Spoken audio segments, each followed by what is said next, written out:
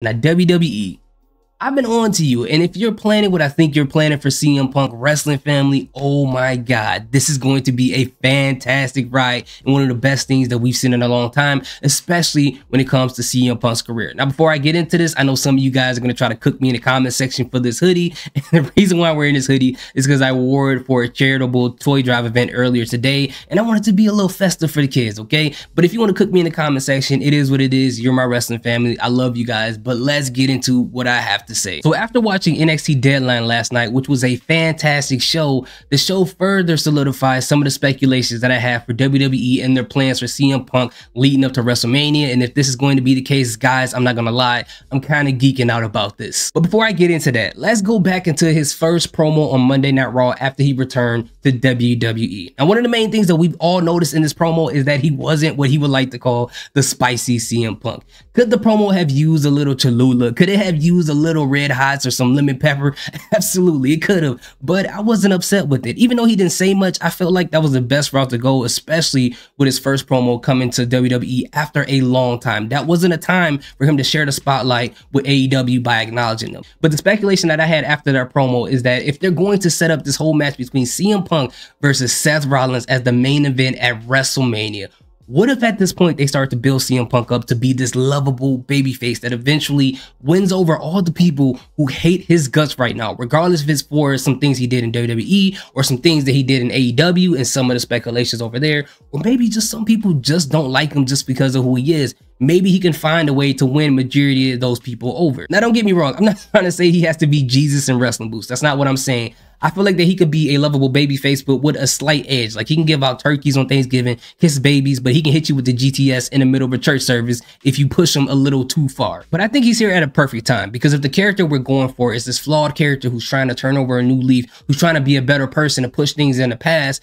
I think trying to do this in a matter of two months, no one's going to believe that, especially the people who don't like him. But with WrestleMania being so far away, that gives us tons of time to see him week in and week out, seem more mature, to show us that he's a whole different person and to start winning these people who hate him over little by little. And I think one of the great things about his promo on SmackDown is he serviced both sides of the field. He serviced the people who missed the old CM Punk that would cut promos and try to get at people super hard. But then at the same time, he still showed a little maturity, invited the fans to be involved into his promo, almost like a game show type of thing. So if he still straddles that type of fence, I think he'll be very successful in this type of situation. Now, what does this have to do with NXT Deadline? And what does this have to do with Seth Rollins? Well, if you watched NXT Deadline last night, CM Punk came into the ring, spoke to Shawn Michaels, and basically said, there are people in the back who told me they grew up watching me and took selfies with me. And now I get the opportunity to do the same with you because I grew up watching you. So that's great for CM Punk. And, I, and it felt genuine. It felt great, which adds to the character that I'm talking about. Another heartwarming moment is backstage when he spoke to Cora Jade, a fellow Chicago native,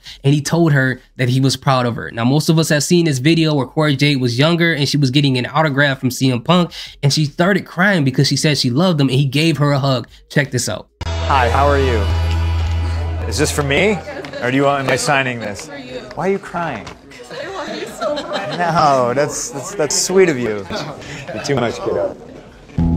Now, I think those are perfect moments to build CM Punk to be this baby face to eventually win people over who absolutely hate his guts, especially if they find more moments like this.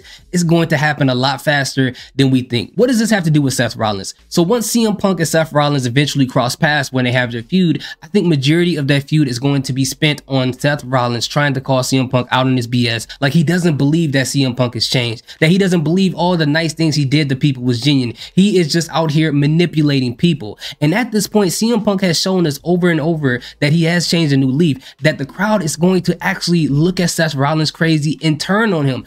Even if they don't care about CM Punk, at this point, Seth Rollins will represent the person that don't believe that a person who does a mistake over and over can turn a new leaf. And CM Punk is going to represent the people who, no matter how many mistakes they made, they can turn a new leaf and start a new life. Now, what could be the icing on the cake is that Seth Rollins is going so crazy. He has no one to turn to. He goes to his wife, Becky Lynch, and says, Hey, I don't know what's going on here.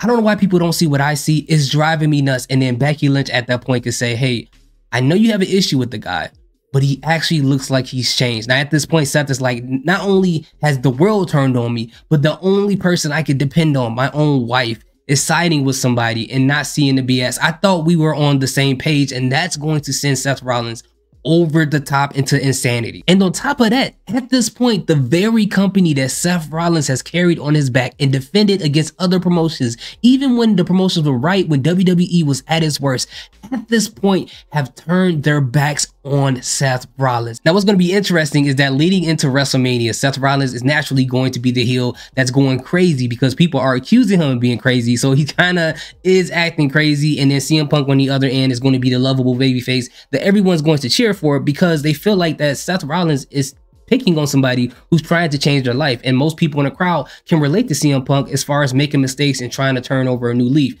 Now, when CM Punk goes to WrestleMania and faces Seth Rollins, I believe that he's going to win that belt off of him. And I think that's going to be a great moment. People are going to be cheering, people are going to go crazy. But what I think is going to happen soon after CM Punk is going to eventually revert back to that person that we all known who he was going to be to a scale to 11. So I think what would be cool is for whoever he does something nice for, whether it be him taking a selfie with us with uh, Shawn Michaels, whether it be him telling Cora Jade that he's proud of her, whatever else he does leading up to this point, whenever he encountered these people, they're going to be worried for him, like, yo, I thought you was a nice person. What's going on? We can help.